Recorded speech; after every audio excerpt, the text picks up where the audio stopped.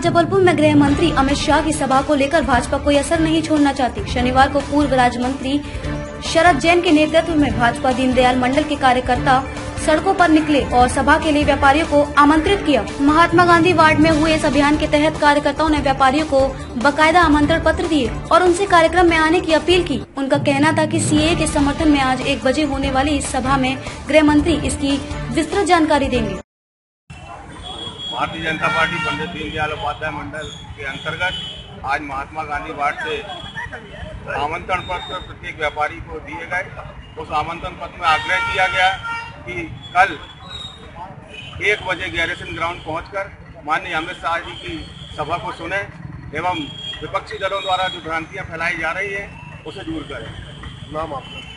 अजय पटेल पंडित दीनदयाल उपाध्याय मंडल। अध्यक्ष